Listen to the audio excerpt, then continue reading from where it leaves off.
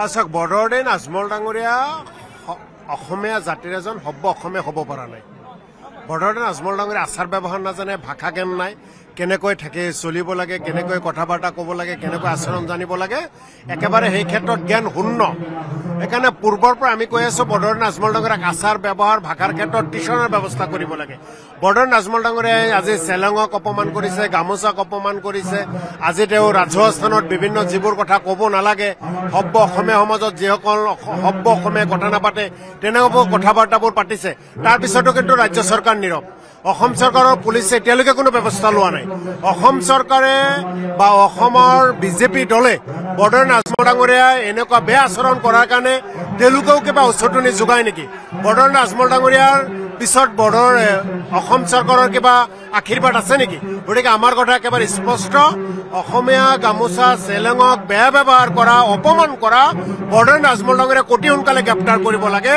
যদি গ্ৰেপ্তাৰ নকৰে তাৰ পৰৱৰ্তী সময় কিন্তু ৰাইজে যিকোনো পৰিস্থিতি কৰিব পাৰে তাৰ কাৰণে কিন্তু ৰাইজক চৰকাৰে জগৰীয়া কৰিব নোৱাৰিব। তেখেতে যদি ষ্টেজত আহিছে শৰাই জাপি গামোচা চেলেং চাদৰ গোটেইখিনি দি তেখেতক সম্বোধনা কৰিছে ধুনীয়াকৈ এইখিনি বস্তু তেখেতে লৈছে গ্ৰহণ কৰিছে ধুনীয়াকৈ। আমি একেলগে আছোঁ। আচ্ছা নেক্সট আকৌ যেতিয়া তেখেতে থিয় হৈ কিবা সম্বোধন কৰাৰ কাৰণে গৈছে আকৌ এই চেলেং চাদৰটো তেখেতৰ কান্ধত যেতিয়া দিছে সন্মুখত এজন বৃদ্ধ মুৰব্বী মানুহ আছিল। চেলেং চাদৰ কিমান ধুনীয়া হয় আপোনালোকে দেখিছে দেখাত ধুনীয়া। সেই মানুহজন তাৰ পৰা কৈছিল যে হুজুৰ ছাৰ এই চাদৰটো মোক দিয়ক। তেতিয়া তেখেতে সেই নিজৰ কান্ধৰ চাদৰটো মানুহজনক কেনেকৈ দিছে সন্মুখত যিটো বহি আছিল সেই ক্লিপটো আপোনালোকে দেখাই দিব। চেলেং চাদৰ তেখেতে দলিয়াই দিয়া নাই। তেখেতকতো চেলেং চাদৰ যেতিয়া তেখেতক সম্বোধন কৰিছে মৰমত গলত লৈ বহুত টাইম আছে টেবুলত ৰাখিছে। পিছত আকৌ যেতিয়া গামো গামো গামোচা আৰু চেলেং চাদৰটো দিছে তেতিয়া সন্মুখত বিচৰা মানুহজনে বিচাৰিছিলে ধুনীয়া হেৰি বৃদ্ধ মানুহ এজন সেই বৃদ্ধ মানুহজনক তেখেতে এনেকৈ দিছে। এতিয়া তেখেতে আছে ওপৰত সেইজন মানুহ তলত। এনেকৈ দিলে দেখাত লাগিছে দলিয়াই দিছে দলিয়াই দিয়া নাই সেই মানুহজনক সেইটো উপহাৰেই দিছে তেখেতে। এইটো কথা সত্য যে আজমল ডাঙৰীয়াই অসমীয়া জাতিটোক সন্মান কৰিবলৈ নিশিকিলে। চ' গতিকে এতিয়া চেলেং চাদৰটো দলিয়াই দিয়াটো এইটো অস্বাভাৱিক নহয়। গতিকে অসমৰ যিটো খিলঞ্জীয়াৰ বুকুত গজাল মাৰি তেওঁ ৰাজনীতি কৰিবলৈ গৈছে। সেইটোতে প্ৰমাণ যে তেওঁ অসমীয়াৰ প্ৰতি কোনো এটা ভাল ভাৱ নাই। চ' গতিকে চেলেং চাদৰ অসমীয়াৰ যিটো সন্মান তো এই চেলেং চাদৰ দলিয়াই দিয়াটো অস্বাভাৱিক নহয় কাৰণ তেওঁ অসমীয়াক কেতিয়াও সন্মান কৰা নাছিলে আৰু সন্মান কৰিবলৈ শিকা নাই।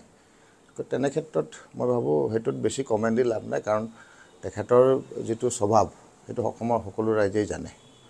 আৰু তেওঁ সময়ে সময়ে অকল অসমীয়া জাতিটোক বুলিয়েই নহয় মিডিয়াৰ যিসকল ব্যক্তি তেখেতসকলকো বেয়া ব্যৱহাৰ কৰাটো আমি দেখিছোঁ। তো গতিকে তেনে ক্ষেত্ৰত এইটো তেখেতৰ যিটো স্বভাৱ সেইটোতো অস্বাভাৱিক নহয় স্বাভাৱিকভাৱেই কৰি গৈ আছে। আৰু অসমৰ ৰাইজক বিশেষকৈ সংখ্যালঘু লোকসকলক তেওঁ মিছলিড কৰি এটা ৰাজনীতি কৰিছে। আজি তেওঁৰ জৰিয়তে সংখ্যালঘু লোকসকলক কোনো ধৰণেৰে আগবঢ়াই নিব পৰা নাই। আৰু বৰঞ্চ তেওঁলোক পিছ পৰি গৈছে। চ' গতিকে আজিৰ ডেটত সংখ্যালঘুৰ মাজত তেওঁ এটা বৃহত্তৰ প্ৰত্যাহ্বান হিচাপে থিয় হৈছে তেখেতসকলক উত্তৰণৰ কাৰণে।